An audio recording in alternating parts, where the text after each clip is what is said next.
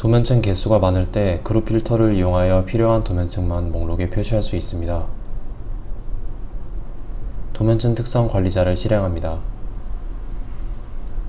도면층 필터 트리를 확장하고 새 그룹 필터 버튼을 클릭합니다. 전체 도면층에서 필요한 도면층만 선택한 후 그룹 필터에 드래그합니다.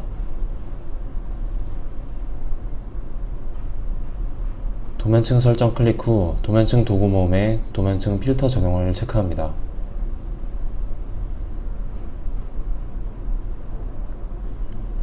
필터가 바로 적용되어 선택한 도면층과 현재 도면층만 표시됩니다.